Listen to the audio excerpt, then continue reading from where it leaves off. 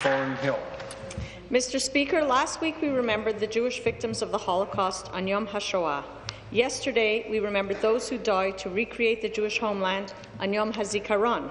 Today, we celebrate the re-establishment of the Jewish state, the creation of the State of Israel, its Yom HaAtzmaut. My maternal grandparents travelled to the British territory of Palestine in the early 1930s with groups of their friends from Hashomer Hatzair, a Zionist youth organization, to establish one of the early kibbutz cooperatives. By planting trees, building homes, and having children of their own, these pioneers helped Israel grow into the flourishing land and democracy that we know today.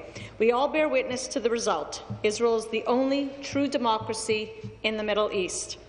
There are Arab members of parliament, women in the army, and those of any sexual orientation are celebrated. It's these values that Canadians and Israelis share, and these shared values that enable the unique relationship between our two great countries. It's for all of these reasons that we've come together to celebrate Israel today and why we must remain vigilant for the anti-Semitism and persecution that continues to persist. Regretfully, Al-Quds Day has been celebrated for several years on the grounds of the provincial legislature, the very institution that acts to protect the rights and dignity of each and every single Ontarian. Mr. Speaker, it is your duty to ensure that a gathering of such a reprehensible nature will not be permitted near our institution, Am Chai.